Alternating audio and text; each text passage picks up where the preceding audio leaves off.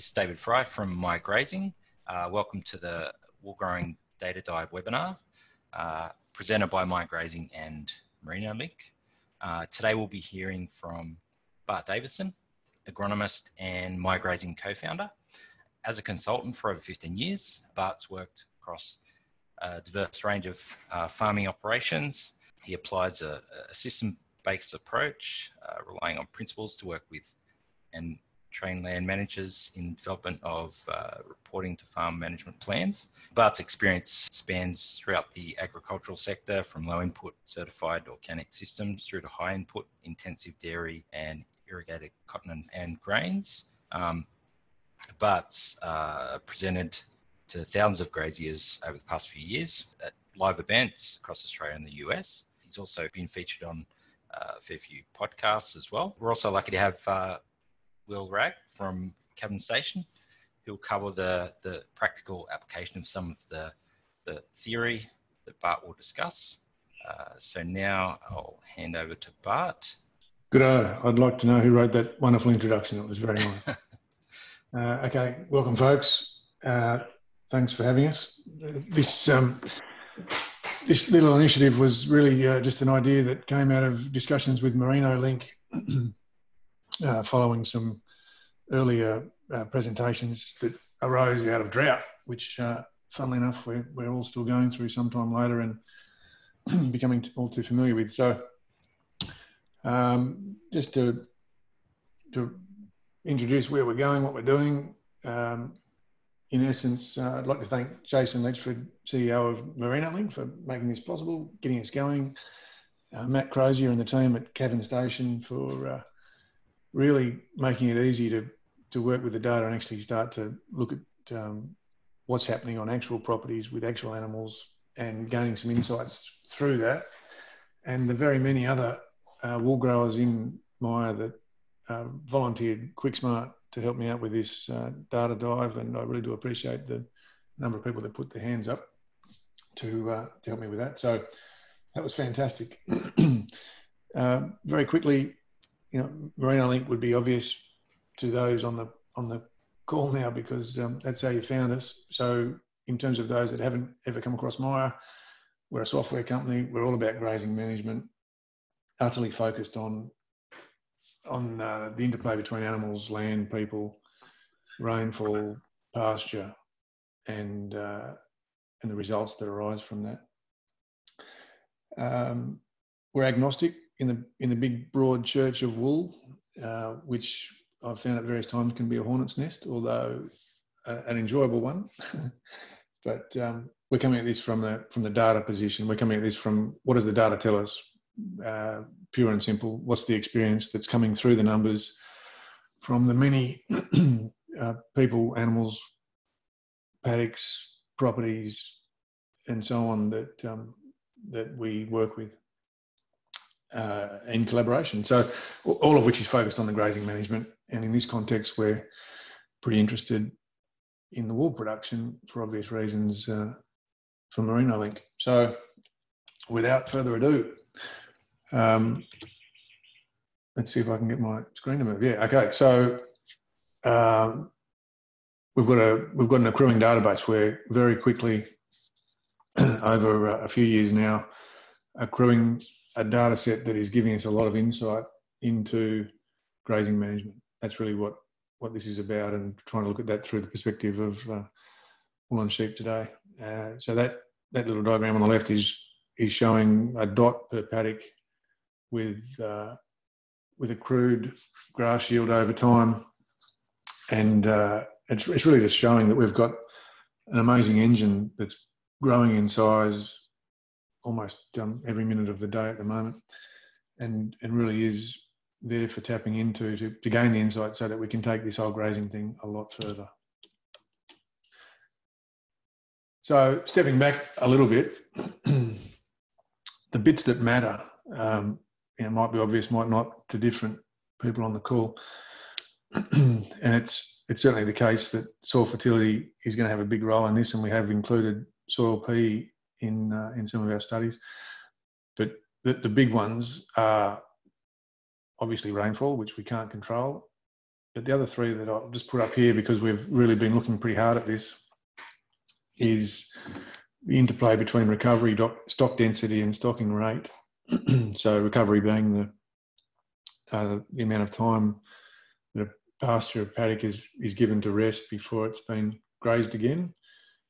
Stock density is the the uh, the number of mouths uh, on the paddock at a point in time, whether they're DSE or large stock units or animal units in the States or elsewhere, whether it's measured in pounds or kilos or any other measure, it's all about what is the pressure on that area of land or that square metre at that point in time. Because we could, you know, obviously vary that a hell of a lot, and we do, and we see that through the numbers. And ultimately, uh, it, it's all about stocking rate and managing stocking rate with those other levers so that we're optimizing the harvesting of grass, not just at a point in time, but over periods of time, whether it's days, months, weeks, or years, or lifetimes, in fact. So when we actually go and pull those numbers apart, put them back together with um, tens of thousands of rows, we find that there's actually uh, something pretty interesting happening. so we've actually found that in our data set, uh, if we pull it apart, put it back together, there actually is a strong data model that we can build, and we're we've only just really got our teeth into this, and we're going to take this a lot further. But uh, these variables are so important that we can actually build a predictive model, and the predictive model will basically say the, the actual annual dry matter production and consumption per hectare is predictable based on rainfall, recovery, and stock density, which might seem a little bit staggering, but it's it's actually what's coming through with some pretty strong numbers in our modelling. and it's excluding soil P, although our our modelling is going to grow into soil phosphorus and other soil factors. But uh, it's, it's absolutely amazing that um, those simple variables are actually so demonstrably important to grass yield. And it makes sense. I guess we, you know, a lot of people are going to be intuitively saying that that makes sense, but it's probably never been um, pulled apart and put back together to the extent that we can now do because of the, the graze data that we've accrued over time. Uh, we looked at a bunch of other things, including um, sand, silt, clay, water holding capacities, and so on. So that's a big subject that uh, that's going to be ongoing, and I'm I'm glad we got our teeth into it. So, what's the problem? I, I, think it's worth stopping and saying, right, um, that's great, but what is the problem that we're trying to address here? And from our perspective, it's really critical that we're that we're aware of this and focused on it because if we're not really clear on what the problem is, we're not going to get there. And there are so many dollars tied up in in the farm and the enterprise uh, structures around grazing at the moment that it's just absolutely critical, particularly in tough times like uh, Eastern Australia is going through, and Western Australia for that matter. Um, it's really critical that we understand what the problem is. And you know, the obvious one is definitely rainfall variability. And I could put up a bunch of slides that I'm not going to that um, that would point at really extreme variability in in rainfall patterns uh, all over the place, not just in Australia, but certainly in Australia this last um, recent years. And that's something we can't control though. We can only manage for it. So the second problem that we see really is that that whilst there are billions of dollars tied up in stock, fences, paddocks, pastures, chemical, and all the rest of it, there are not really good feedback loops on your farm linking your results back to the actions that you took to achieve them. And that's really what this is all about, trying to work out uh, what's working, what's not, doing more of what's working and, and pulling up on the stuff that's not. And as Jack Sparrow so eloquently put, you know, we've really got to start looking at how we think about these problems and, and not not being a victim of them, really just uh, getting in control. And, and, at the end of the day, that means data and that means having tools that accrue that data and do more with it. So um, with that in mind, uh, I'll throw now to some some of the data that popped up from our uh, lovely volunteers. There's a bunch of it. There was there was just so much of it. I was drowning in it, and uh, there were threads everywhere. And this is just a very small snapshot of the kind of numbers that were coming through, and it's it's a bit of everything. And uh, it really did help me appreciate the the difference between beef and, and wool production systems and the data that flows into them and the data that flows out of them.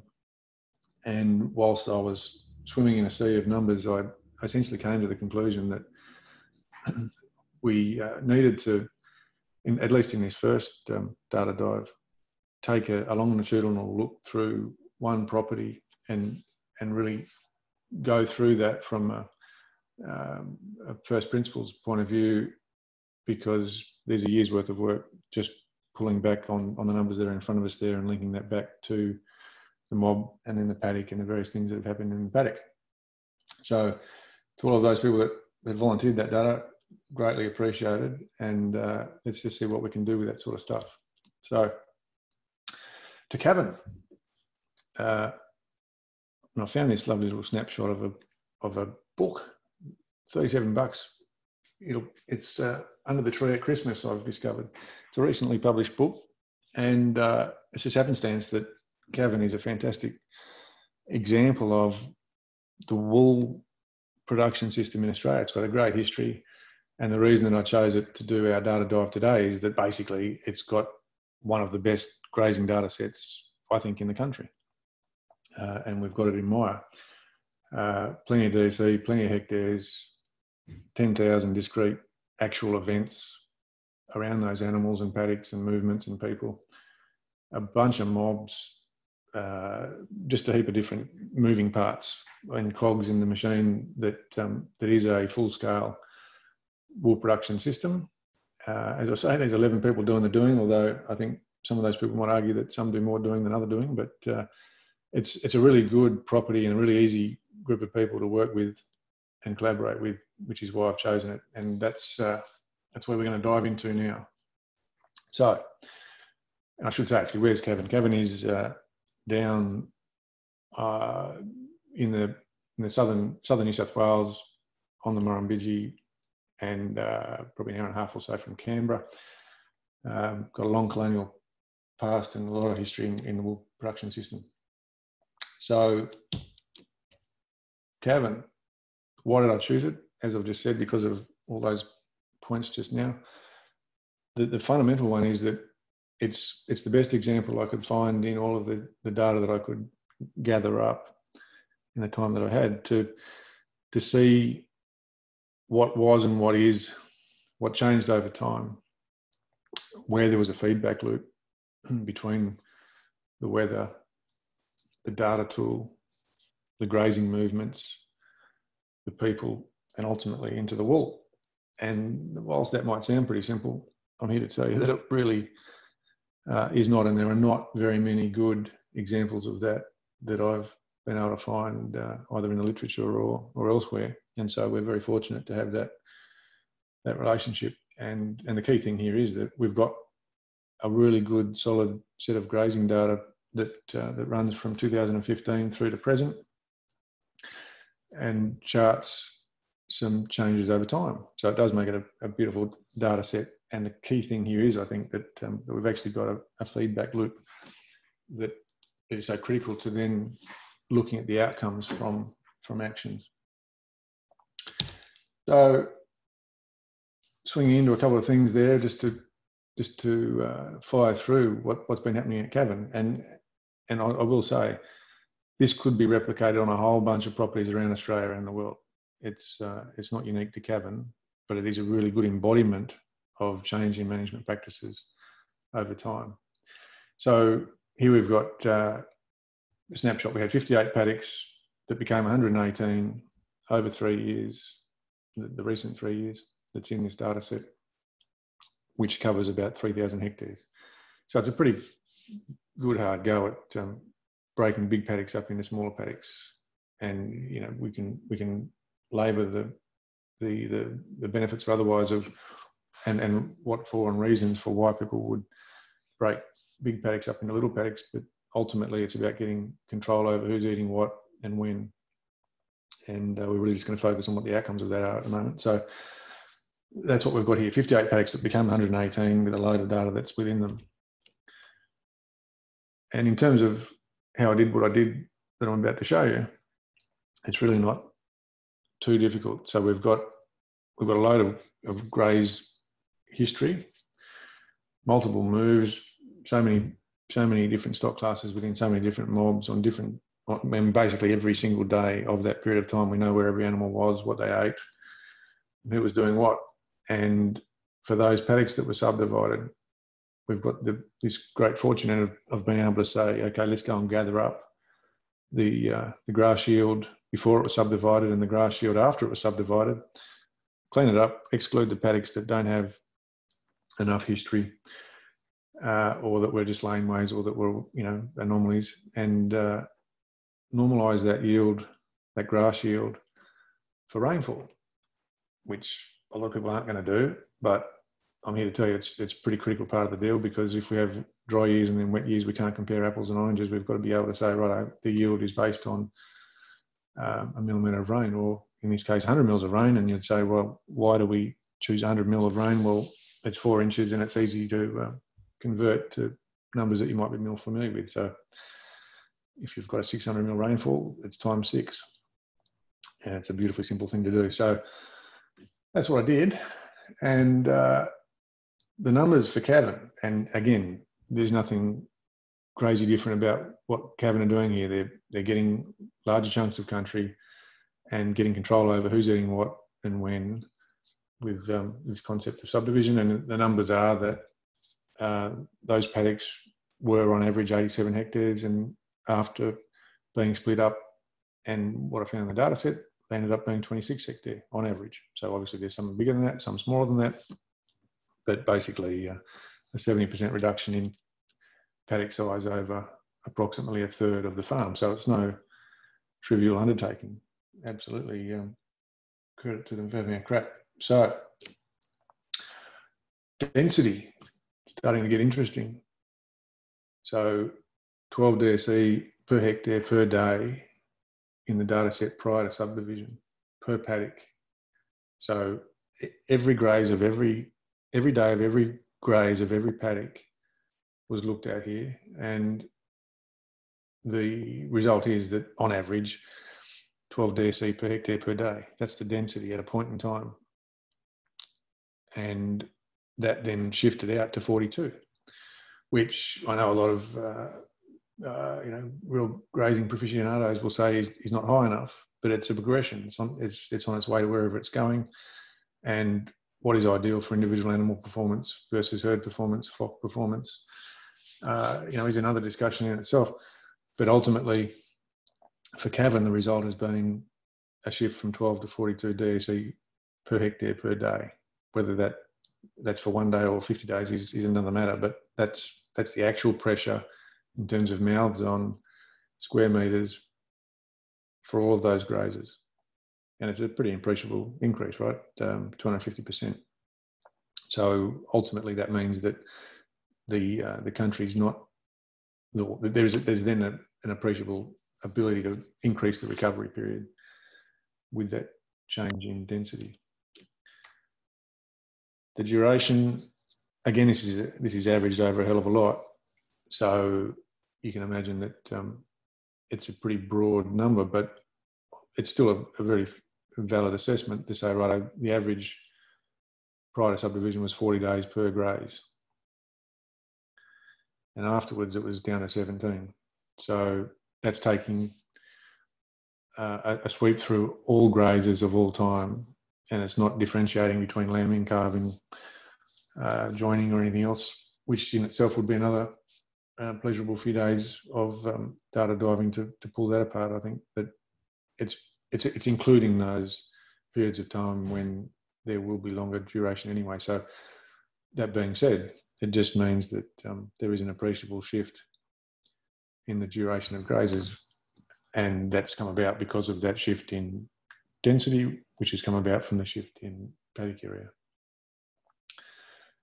Uh, and we were looking at there through the prism of a graze chart. So paddocks on the y-axis and time on the x-axis and here we've got, uh, you know, looks like a bit of lambing, set stocking, one mob over multiple paddocks through to um, the movement of um, a mob through various paddocks here in different configurations, which is um, really what comes about from getting that control over the grazing variable. So now to the money, now to the, uh, the interesting part, the bit that really um, took my interest. It's the yield. And I had to do this a number of times because I didn't actually know whether to believe it. So uh, the result was pretty good. The actual grass consumed, the actual yield harvested per 100 mils of rain over that period of time has gone from 220 kilos per hectare per 100 mil to 369. And I don't think the decimal points really matter here because this is the average of all paddocks over that period of time. and uh, it took quite a bit of time to work that through and double check it a number of times. But basically, uh, that's an appreciable increase. It's in line with the kind of anecdotal gains that that people will talk about in terms of increasing grazing control through um, temporary fences. Uh, you know, I've, I've, often heard of uh, up to 100% increase in stocking rate as a result, but never really been able to get into the data to have a look at it. And this data set allowed us to, to flow that through. And it's, it's pretty solid. Um, it's, it's certainly solid enough. Uh, and then the, in terms of a, of a quantum, it's 149 kilos, let's call it 150 kilos per hectare per 100 mils. And we'll follow that through shortly. But the key point here is that that's, uh, that's normalised for rainfall every day of every graze throughout that period of time, the relationship between uh, the mob, the paddock, the moves, the area, the grass consumed, when it last rained, when it next rained, all of that's included in this. So uh, I'll, I'll keep moving, but um, that's a key number that really does um, raise the eyebrows a little bit. And we've got to then think about what that results in down the road. But um, as a starting point, I think I'd I think I'd take that quite happily. I'll be interested in what um, what various people think about that as a as a realistic number or not too. So, what did it cost? Now, I look at this quite a bit across different farms in different countries, and it ranges a hell of a lot. I, I think the lowest I've seen is about 15 bucks a hectare, up to 200 plus dollars a hectare. And I've come to the conclusion that it really, um, I don't want you to take this the wrong way, but I think it actually comes back to our fence pride and our um, our ego tends to be wound up in the fence a lot of the time. And uh, it's a pretty key point because if, if we start to look at the return on investment from getting control over grazing management and not viewing it as a cost of needing to put water and wire up, but actually looking at it as a, an investable, makes you think, right, do I really need to put the concrete in versus the uh, the more temporary version or, or whatever. And that's a story in itself. And, and I think um, there are no judgments or or black and whites in this. It's a, it's a range. It's a process between development of large tracts of land that might need totally permanent uh, fencing for for um, boisterous animals versus single wire or double wire temporary fences uh, that that are a fraction of the cost. Uh, and I'm not here to judge that. All I'm here to do is say this is what was actually spent for Cavan through this study, and it's a, it's about right. It's about average um, in terms of permanent, semi-permanent water and wire, and a range thereof. And uh, and on this property, you know, there's been over 3,000 hectares of it put up, which means that um, there's going to be a real range. But it's uh, it's an interesting proposition then to think about what's that worth because we've got to then think about the return on investment. And whilst it probably only interests people like me, I thought about it. If the country down there is worth 250, sorry, 2,500 an acre, then that $88 a hectare buys me about 140 square metres, which isn't a great deal.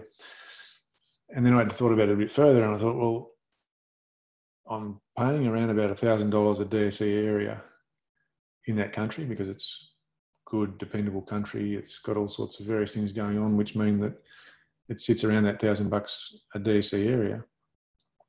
But based on these numbers, it's telling me that I can fence it for ninety dollars a DSE area, which really does um, change some of the equations around whether I'm buying better off buying next door or getting my own place under control first, and then thinking about the split of overhead and the, return on capital. And that's a really big, interesting conversation, I think. And uh, again, not here to judge it either way, but I think the more numbers that we can flush out about our own production systems, the more likely we are to make better decisions and and leverage it. And that's back to my first point about the problem with um, a lot of farms at the moment is that we, we don't have that feedback loop that says this is my data for my farm, this is working, this is the return on investment, I'm going to keep doing it, or the alternative, and I'm, I'm not going to keep doing it.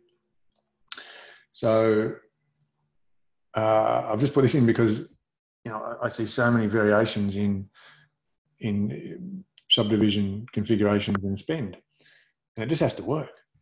It doesn't need to be a testament to how good we are at building fences. It just needs to work, and it just means holding animals where we want to hold them. And obviously, there's differences between the top of class that we're talking about here, but that's the critical thing.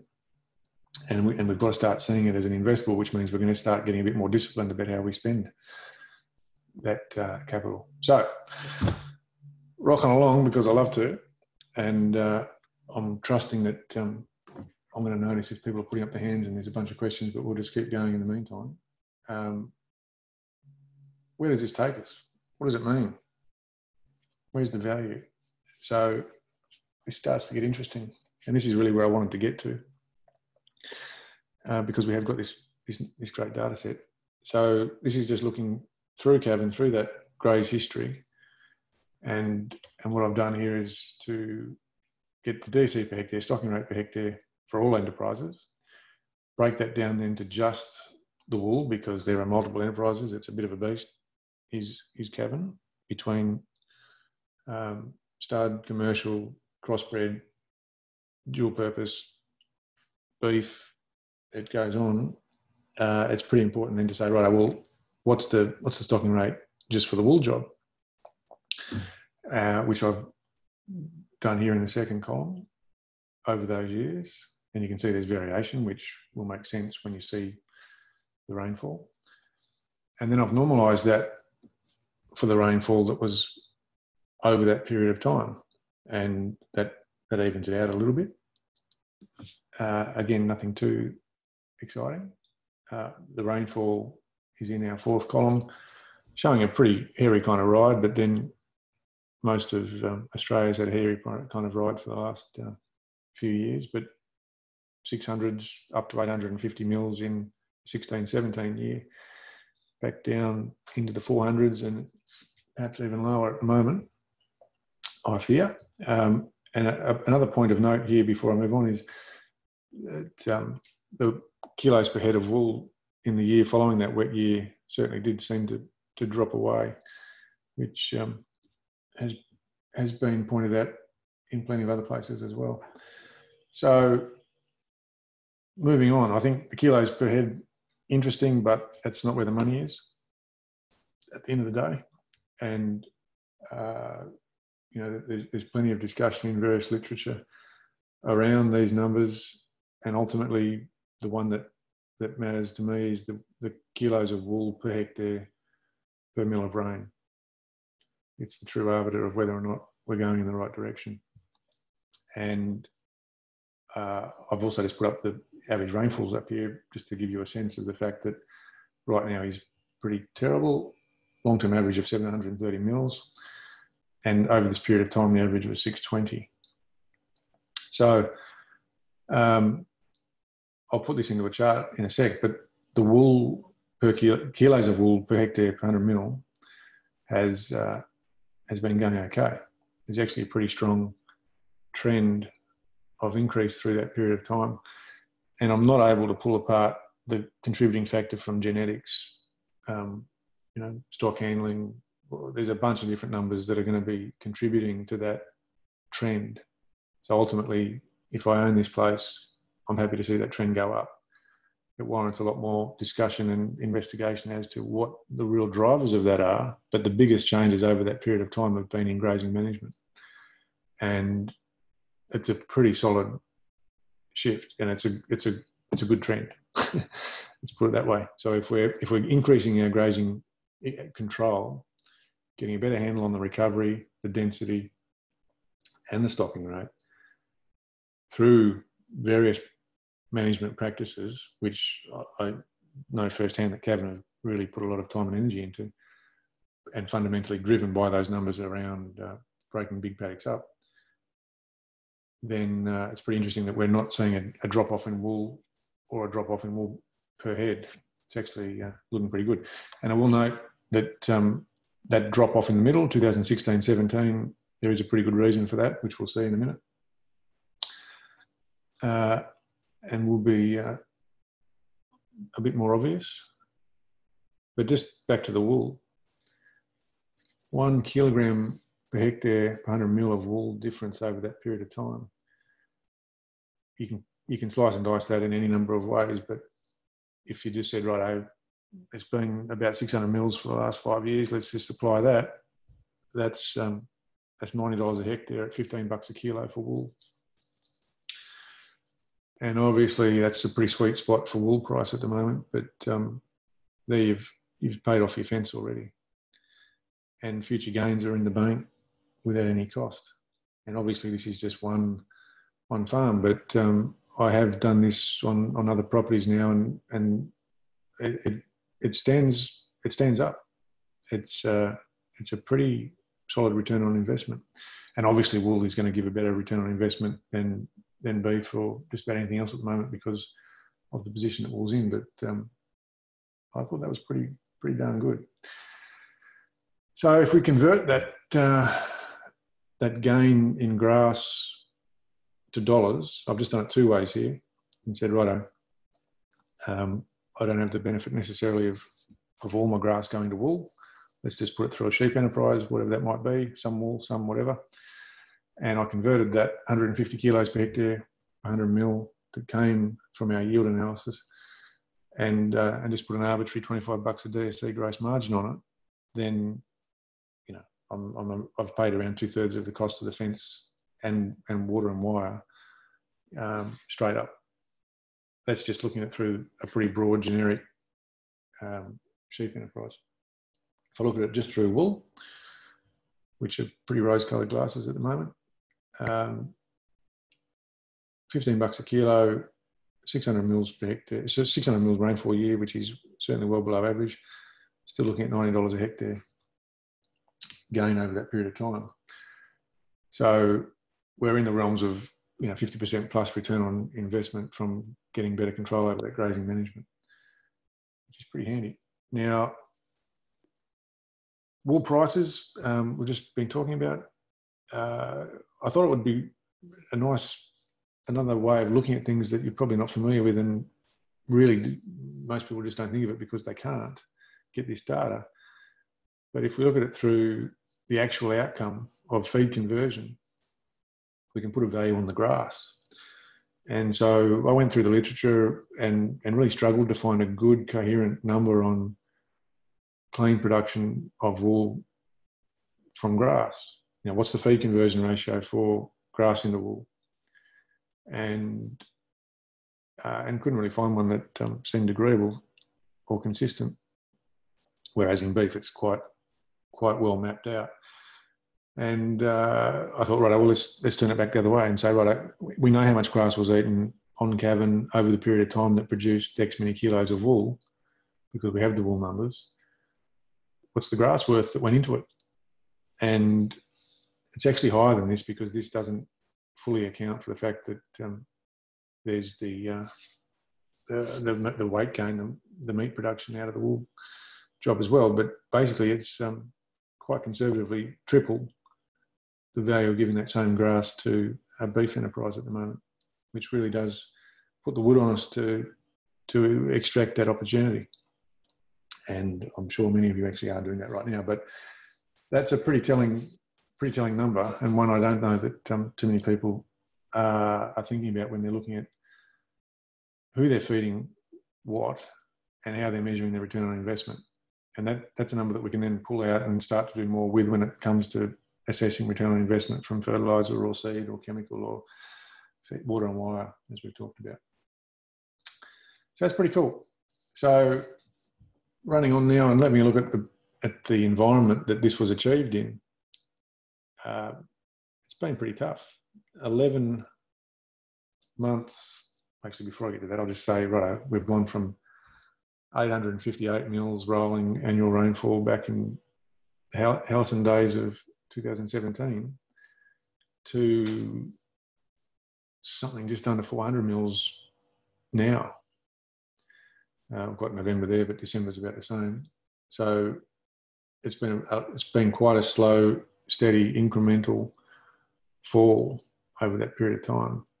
And so, I, and I put that up because it really does, um, you know, it, it's a pat on the back for Cavan management that they've been able to manage that um, that set of numbers through that period of time in a consistently falling rainfall pattern, which explains the blip in the 16, 17 wool numbers. Well, I think it does anyway. Um, we might get into an argument about that, but I'm running the show at the moment, so I get to say what I think. And I, I think that um, when when I look at these numbers, what this is really saying is that there was a pretty pretty stiff uptick uptick in the uh, the accrued rainfall through 1617, and essentially the stocking rate wasn't wasn't uh, able to be grown quickly enough to take advantage of that, whether that's a confidence issue or a capital issue or a um, access issue.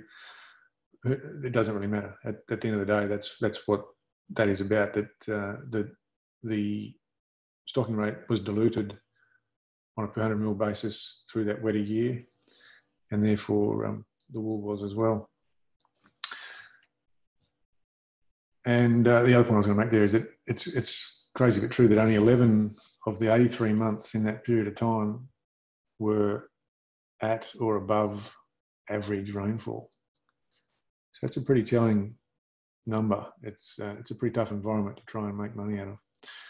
And it's definitely going to test management systems, which means people. So so I love this chart. This is uh, this is the money shot for for this business because I've I've looked at this kind of a chart for a lot of different companies around the world, and not everyone gets it singing as sweetly as this. And what what what we're looking at here is the actual stocking rate in green to the ideal stocking rate, which is the carrying capacity, in the dashed um, turquoise line.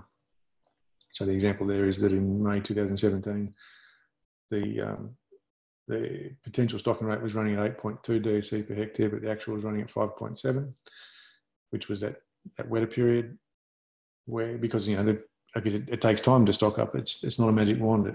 All of these things need management. And when you're running 40 to 50,000 DSE, you can't, you can't get stuff done with the click of the fingers like you might want to or uh, imagine you can, but it's, it's a, it's a process. And so the real the really important thing about this chart is the gap between those two lines, and I love it. I, I think that's that's um, it's poetry in motion because we've got a decreasing um, variance between those two lines, going from the early period when there was a bit of overstocking, then some understocking, then some overstocking, then some understocking, which happens every day of the week on every farm around Australia and other other continents. I've got to tell you, I see the numbers and this is the t- type of trend that we want to see, whether it's wool beef or anything else for that matter, but certainly, certainly in wool production, given the margins on the table, and the the importance of having sufficient feed on hand to have choices about who's going to eat what, so that we can maintain nutrition flows at plane of nutrition and get on top of um, all the variables that go into quality. So, so that's a real win. And I, and I think that whilst it's, it's not able to be said that there's a causal factor there between any one thing, that's good management, pure and simple. Whether it's come from getting a handle on recovery and density and stocking rate per graze, per day, per month, per set of paddocks, you know, I think that's definitely going to have an impact. But um, at a property level, this means that through that period of time, there's been more choices. There's been less exposure to um, rising feed costs, less exposure to um, quality issues to do with breaks in plane of nutrition. Uh, and really fundamentally important too is the fact that the state of the ecology is going to be better than were it otherwise, where uh, stocking rate of carrying capacity is not being matched or improved, and the consummate um, impact that's going to have on on uh, grass responsiveness when when seasons do change. So that's a pretty good um, summary of of the position of this enterprise over that period of time, and it, and it really just validates those other numbers back along the way. So I'll, I'll round that out with just pulling that back to a, a bigger picture. You know, what's the benefit of that?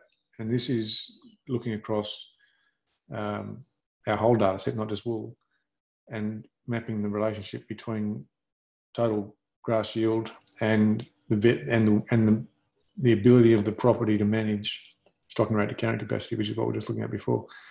And there's a, an inverse relationship there where the better the control over stocking rate to carrying capacity, the higher the ultimate yield on a per hectare basis is and per 100 mils. So that's pretty interesting. So I'm, uh, I'm going to wrap up and, uh, and uh, introduce Will Rag, not to be confused with Will I Am too often with his singing abilities. Uh, just to talk about what he sees on the ground at Cavan because he's he's one of the guys that does the doing and uh, and drives that system of animal movement around and and you know it's it's no it's no small thing. And I'll just finish by by saying that those have those of you that haven't seen Maia, that's what this is about. We, we we have an engine here that is being built to get control over grazing management and those variables that are so implicit to the allocation of feed and making sure that we, we best marry up stocking rate to carrying capacity, not just at a point in time, but over a period of time. That's what we're about. And providing that feedback loop back to the people that um, own and run the property so that we're not leaving money on the table when it comes to the big decisions, because ultimately it is about making decisions. So um, I'll throw to Will, and just because I can, I'm just going to quickly um, make the point that uh, it's not that hard. Now we're, we're, talking here about the data that just came, that, that came or flowed into the review that we just did, came from keeping on top of stock numbers, keeping on top of mobs, and moving them around and tracking that. Yes, there's rainfall. Yes, there's um, daily demand, dry matter intake numbers that we have to keep on top of but We're doing that most of the time anyway and yeah, we need to keep on top of um, stock numbers as a whole. But it's it really is as simple as um, allowing that data to flow through in a way that we can then marry up and get those numbers that um, that I worked through there before. I just love looking at that. It's just so nice and simple. So enough from me. Um, although I am more than happy to take questions as we go here. Um, so so endeth my contribution to the to the first data dive for uh, uh, Maia and, and Merino Link.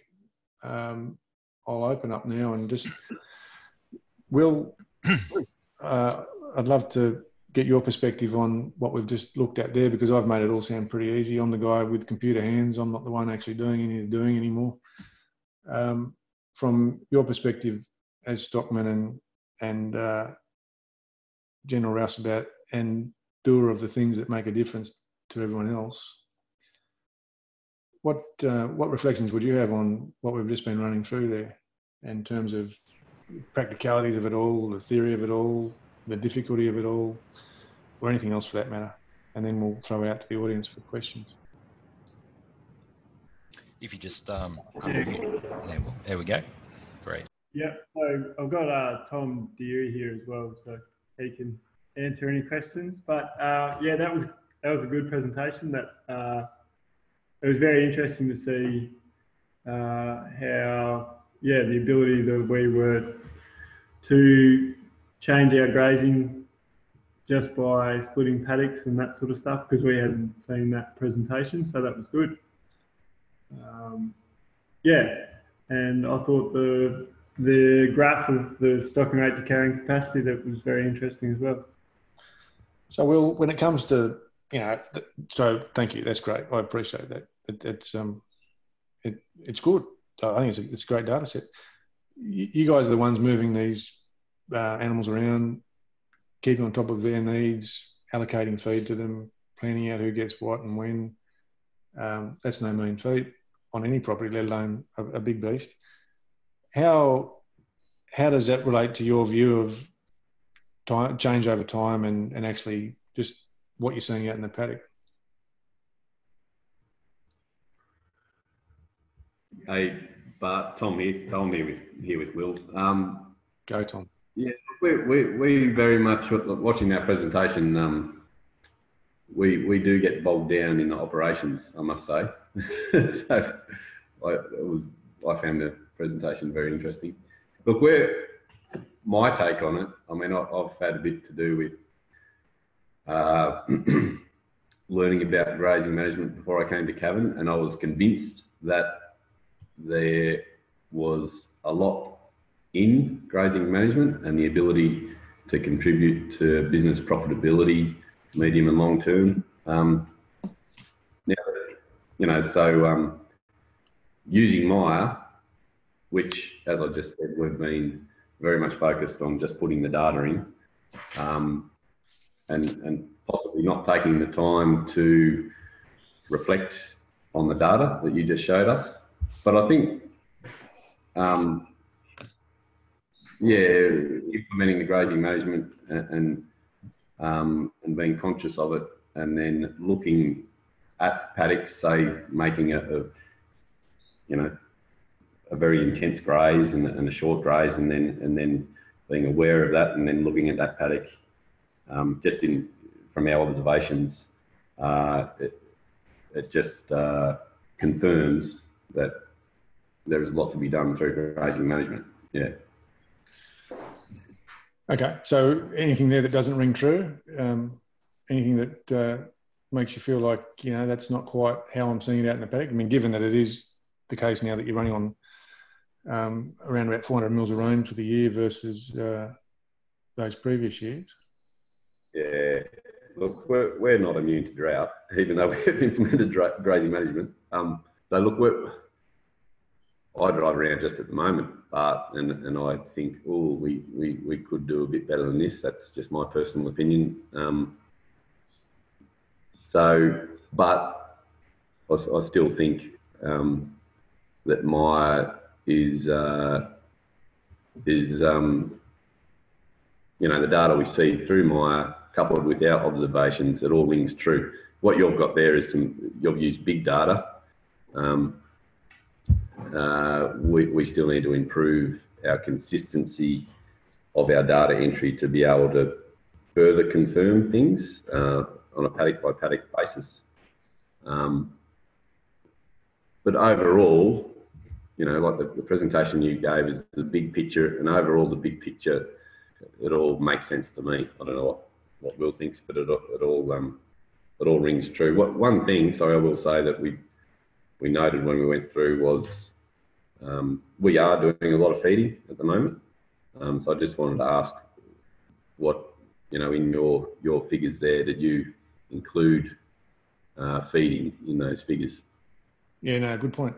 So so the, those figures exclude any substitution feeding for dry matter that goes into um, a ewe or a stud or whatever to maintain nutrition. So those numbers are grass consumed, not, not dry matter, and and that's an important distinction, and it's it's a good one to to flush out. So there is a significant difference between supplementary feeding and substitution feeding that really does need to be brought out into the open and, and a good conversation had about it because um, yeah, fundamentally all of these stocking rate calculations have to exclude um, the, any substitution feeding, which means hay or fodder that's not not from the paddock, which is very different to supplementary feeding, which is all about uh, bypass protein or you know as an example for actually increasing and maintaining the um, daily intake of an animal on feed that may not be ideal, which uh, which is not substitution feeding. So the calculations for the, all those stocking rate numbers are definitely on a on a grass consumed basis, and yeah. Uh, and ultimately, you know that the, the goal of that is to reduce the the um, the exposure to feed costs. But it, there's there's no there's no doubt. I mean, the the, the if I go back to the um, this chart here, for example, uh, the the answer isn't, and it's it's good to flush this out. The answer isn't sell everything, buy everything, sell everything, buy everything, because that's not practical, particularly not when you've got a lot invested in genetics, as Cavan has, and so many other um, wool production systems, and beef for that matter.